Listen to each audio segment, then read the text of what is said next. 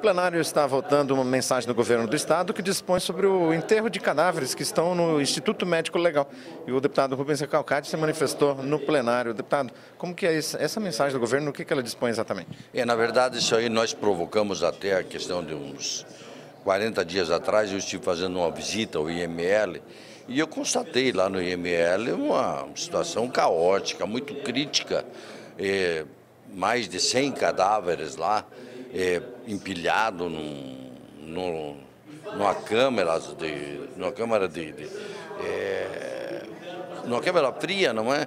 Mas há muito tempo ali, aquele líquido escorrendo já. E eu fiz até um pronunciamento aqui na época, depois conversamos também no Palácio, e o Palácio mandou um projeto de lei que vai ser votado hoje aqui.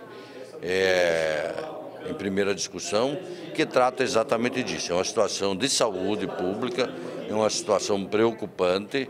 O IML é um, instituto que está ali no centro de Curitiba, na Visconde Guarapuava, e ele tem uma rotatividade muito grande de cadáveres que passam por ali. É, cadáveres de mortes naturais, de de homicídios, de acidentes de trânsito, de suicídio, uma coisa muito grande que passa por ali.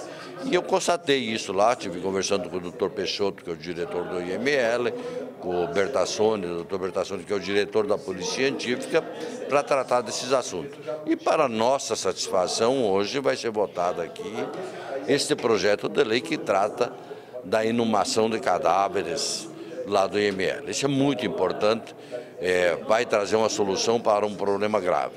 Nós temos brevemente aí é, a inauguração do novo IML também, que vai ficar no Tarumã e que vai resolver, eu acredito, esse problema muito grave que vem acontecendo aqui no Paraná é para corpos não, é, não identificados e identificados e não reclamados, né? Isso, exatamente.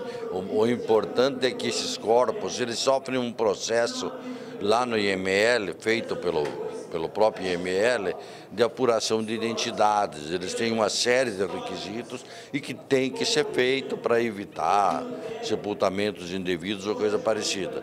E se trata desses corpos que acabam não sendo procurados por familiares por, e, e acabam ficando lá. É uma solução, é um assunto muito importante que nós vamos votar hoje aqui. Esse projeto, esses corpos vão poder ser sepultados, é, mesmo assim? O projeto cria é, formalidades legais para que sejam sepultados e dá liberdade ao IML de dentro de 30 dias, sepultar esses corpos não reclamados e não procurados. Porque até, até agora funciona assim. O IML, quando tem um, cor, um corpo lá não identificado, ele tem que pedir uma autorização judicial para fazer esse sepultamento. Então, com essa lei aqui, nós esperamos que isso venha resolver esse grave problema que acontece aqui. Desburocratiza, né, deputado? Desburocratiza, com certeza, é a palavra certa. Muito obrigado, deputado. Mais informações no site da Assembleia Legislativa e nas mídias sociais.